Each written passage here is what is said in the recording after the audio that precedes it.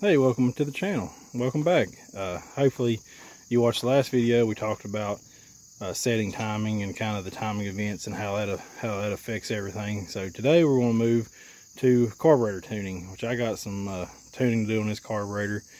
Uh, it's kind of set baseline right now. It's uh, running pretty good, but I want, like I said in the last video, you know, I'm trying to tune this thing to peak performance. So we're going to work on it today, and I'm going to show you kind of the baseline idle mixture tuning and uh, on this thermoquad and then we're going to get into uh, some other some other details. But we're going to start with uh, setting the baseline tuning. Thank you for watching. I hope you enjoy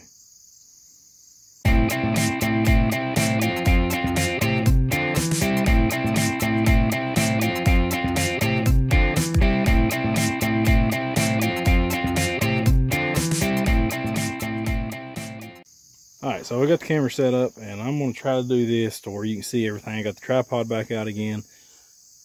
And uh, we're going to tune this with the vacuum gauge. Uh, so it's been running a little rich, uh, especially idle is extremely rich. So uh, I pulled the plugs last week and uh, I could see where the plugs were sooty. So we're going to try to lean it out some.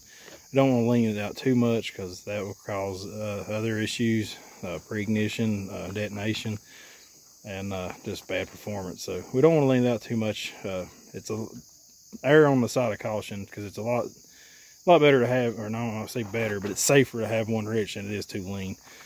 Uh, rich is bad in its own, you know, since it stinks and you smell, your clothes always smell like fuel. Uh, it's bad on your plugs, but whenever it's lean, it can cause a pre-ignition and detonation, same thing.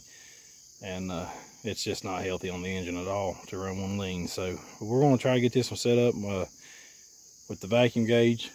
And uh, so let's get started on it.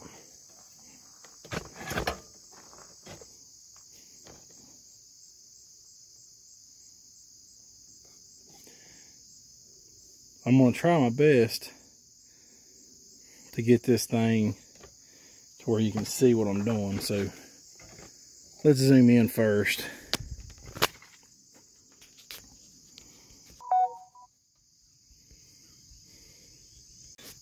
Okay, so what we're going to do is, I've already got these, um, these are your idle mixture screws. I'm turn, I turned them all the way in until it stopped. You don't want to go past the bottom, you damage the seats, but turn them until they stop.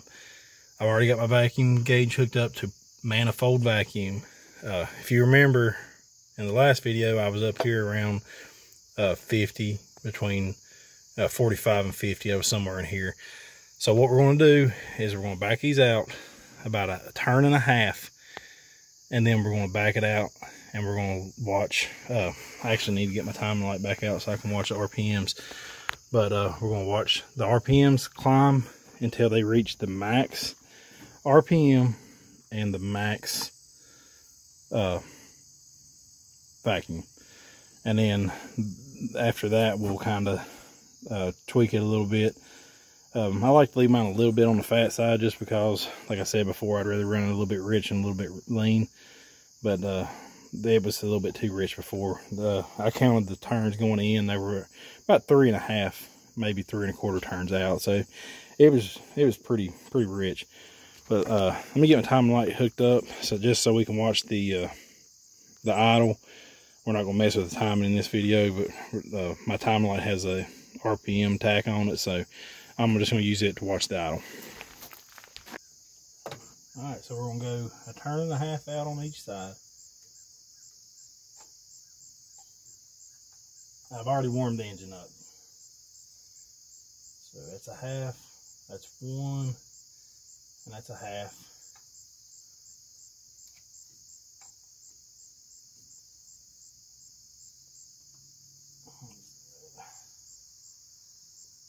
That's a half. That's one. And that's a half. All right, let's see if it'll start.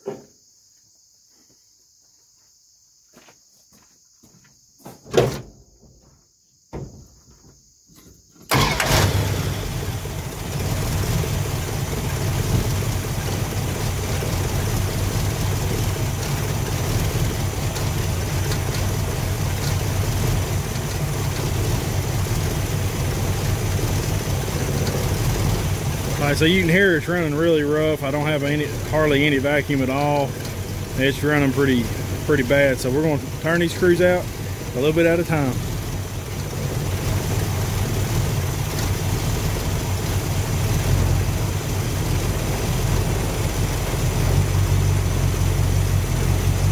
All right, so that's a half a turn. It's already made a difference.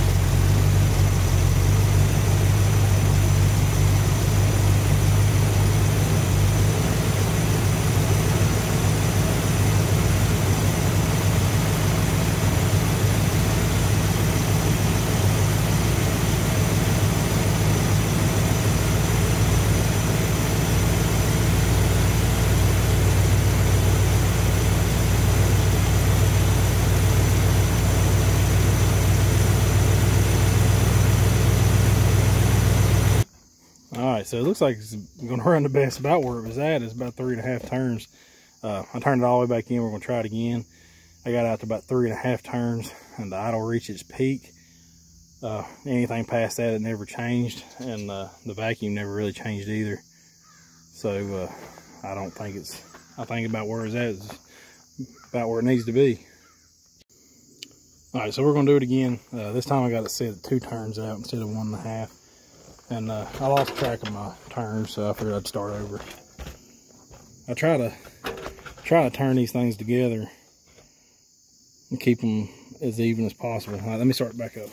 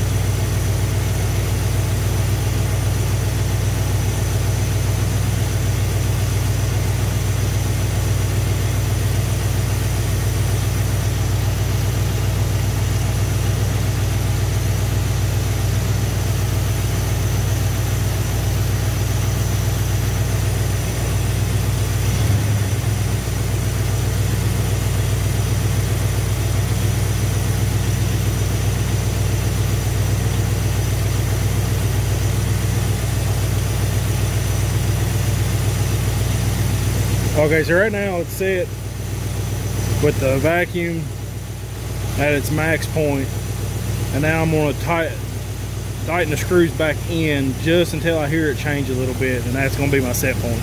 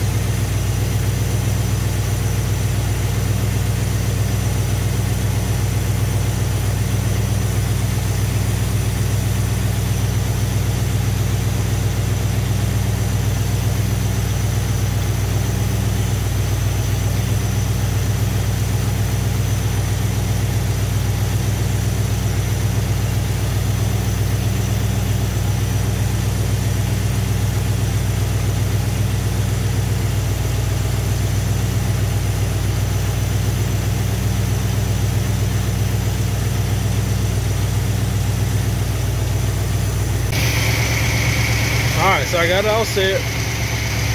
I just turned it out until I got the max uh, vacuum with the best RPM. And then I turned it back in until I heard it down just idle just enough. And that's just going to lean it out just enough to where it's not so rich. Uh, it's not quite as out as far as it was, but I still got really good vacuum. I turned my idle up just a little bit. This is in drive or in uh, park, and I'll show you why.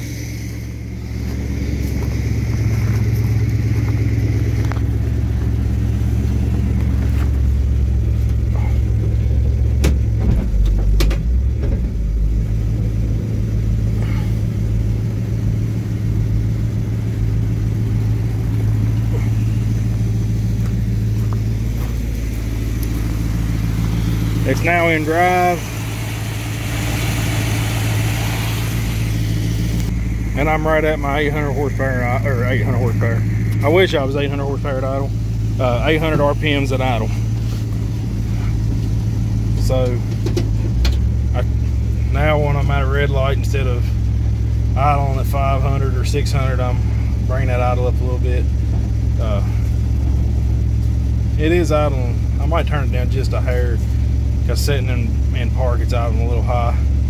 It was about, uh, I don't remember now. Go back on the video, you can see what it was. But uh, I turned it up just a hair. I might just back it off a little bit, go about nine, take about 50 RPMs out of it.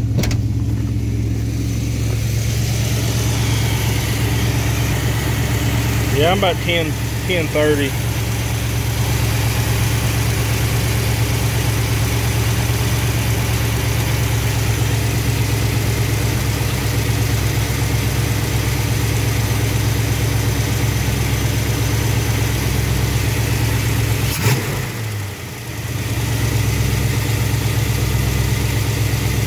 Yeah, 970, it looks pretty good to me.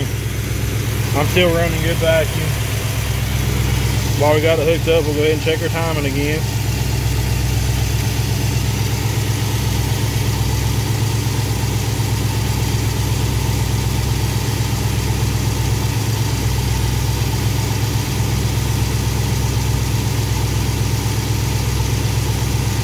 About 18, 19.